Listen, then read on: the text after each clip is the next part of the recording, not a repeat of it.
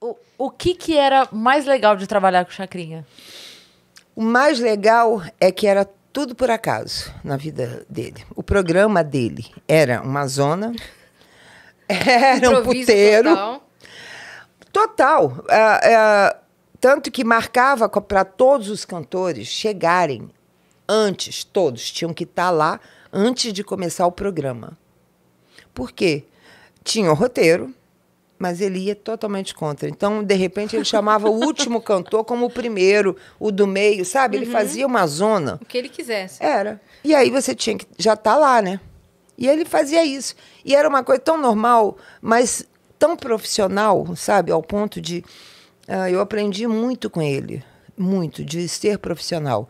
E ele sempre dava um exemplo do filho dele, quando teve o acidente, né? Que ele ficou paraplégico e tudo, o Nanato. E, e ele falou: eu estava num programa, fazendo um programa quando veio a notícia e eu falei, depois eu resolvo. E ele continuou o programa até o final. Então eu aprendi muito com ele que não interessa o que está acontecendo com você. Na hora, bota um sorriso e esquece que existe ali mundo. O teu mundo é ali. Então, para mim, sempre foi muito isso. Eu posso estar passando por qualquer problema, eu posso estar doente, que eu vou, faço, depois eu- a gente vê como é que fica. E isso é difícil de fazer essa É muito separação. difícil. É, É. muito difícil. É artista muito não difícil. consegue. Não, é muito difícil. caem. É muito difícil isso. Então eu aprendi muito isso com ele. Ah, e eu sou grata, né, que tudo que eu sei, tudo que eu vi de televisão, por tudo que eu já passei, eu tenho que, em primeiro lugar, agradecer a ele, porque se não fosse ele, não sei quem seria, se eu existiria, né, como Rita Cad- Cadillac, não, mas como alguém conhecido, como eu sou hoje, então não sei. Então tudo eu tenho que agradecer só a ele. Sou o que eu sou graças a Abelardo Barbosa de Medeiros, Chacrinha. Maravilhoso. Teve alguma situação assim? Você falou que era tudo maluco, né? Era tudo doido. Teve Ele- alguma situação da pessoa não, não entender onde estava e, e, e não entrar na, na dança dele, assim? Teve. Teve. Timaya. Sério? Eita! Timaya. Porque o Chacria ah, tinha mania de tá, o cantor tá cantando e ele tá falando em cima, e ele puxava o cantor para ir para frente da plateia. Ele ele fazia aquela zona, era uma zona, era um circo, mas muito muito legal. E, o, e, o- e um dia o, o, o Timaya ficou atacado, porque o Chacrinha pegou no braço dele e foi levar para o meio da plateia.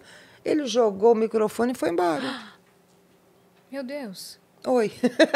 Meu Deus. Cara, e não voltou? Não. Saiu, foi embora. foi embora. Foi embora. E aí? aí? o Chacrinha já falou: que ah, sabe o que, que é? Porque ele deu dor de barriga. Ele Ainda saiu, tirou de letra bem, ainda. é, Tirou de letra. Tirou. Caramba. aham. Aí jogou uma dor de barriga nele. Ficou feio e foi pro time, mas tudo bem. Teve Nossa. dos bastidores que, que você levou pra sua vida, assim? Que você fez muita amizade? Muitos, muitos.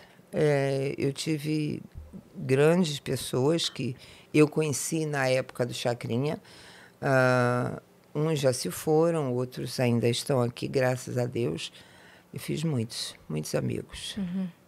Assim, de pessoas de levar mesmo para a vida, sabe? De se tornar é, amigo. Porque quando você trabalha né, em televisão, rádio, qualquer coisa que seja hoje em dia, internet, ah, você tem muito colega de trabalho, de profissão. Exato. Agora, amigo é muito difícil. Né? Então, eu fiz poucos, mas grandes amigos. O clima era bom? Hum? Do bastidor? O clima dos bastidores? Era muito engraçado porque a gente era proibido de ver qualquer coisa que tivesse. A gente chegava. Como na- assim? A gente chegava e ia direto para o camarim. E não saía do camarim. A gente não via os cantores. A gente só sabia quem é que ia, porque nós tínhamos ensaio de manhã. Ah, mas a gente não falava com, Uhum. com nenhum cantor. Era proibido. Vocês faziam. Ah, entendi. Só na parte de vocês que vocês entravam. A gente ficava o programa inteiro dançando, mas a gente não saía assim no camarim para conversar. Então a gente só tinha amizade, começava a gente se conhecer, cantor, bailarina, essas coisas, quando terminava o programa e que a gente saía às vezes para ir para algum lugar, para jantar. Então ali que você acabava conhecendo os cantores, Sim. mas se não, não, você só conhecia o cantor na hora do palco. Sim. Sim. Nesses 10 anos que você ficou lá, é, você começou a ser convidada para eventos e shows? Como é não que foi essa- existia isso. For- foram 10 anos só na TV? Só TV dançando. Não existia o que Evento. existe hoje. Caramba. Não existia esse negócio de presença VIP.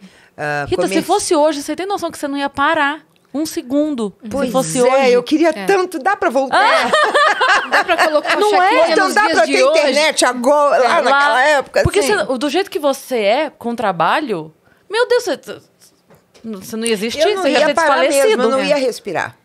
Mas, mas é, era muito. Eu acho que seria muito bom. Sim. E seria muito diferente do que é, né? Porque antes você você era bailarina, é bailarina. Você não era convidada para fazer um comercial, para fazer nada. Você só era bailarina. Então, oi, é bailarina. Uhum.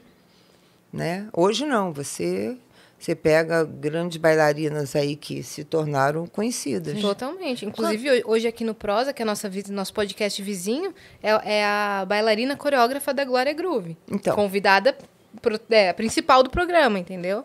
Hoje a gente tem, né, essa Então. visibilidade. Tem essa visibilidade que a gente não existia isso. Existia comercial de televisão? Existia, mas chacrete, bailarina nunca faria. Quando- Únicos comerciais que a gente fazia, que era o patrocinador do programa, mas era assim, ah, tinha, vamos botar Grandene, a Grandene, sandálias Grandene, era muito gozada. A gente só segurava, enquanto Chacrinha falava, a gente segurava. Acabou. Uhum.